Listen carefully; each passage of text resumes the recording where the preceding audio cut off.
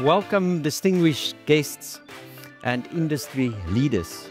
Our primary focus today in this event is to enlighten ourselves on green mining, but with intelligence.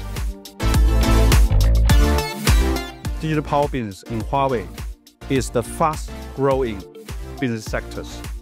We believe digitalization, intelligence, and low carbonization is a very clear and a very certain trend for the world.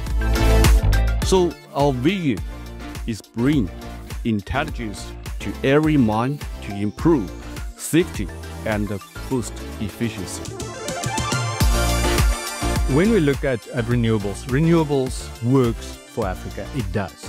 It's it's no longer the discussion I had 12, 15 years ago. It's easy. I walk in here, nobody's arguing with me about the business case of renewables. It works. But I think over time, the business case is also going to be about services. A grid forming is one of those services that can help you with the bankability of your project. We as IBCs have a role to contribute to the, to the grid. We mustn't see the grid as the competition. The results speak for themselves. As new energy technologies integrate deeply within the mining industry, mine microgrids have become a key to driving green, efficient development.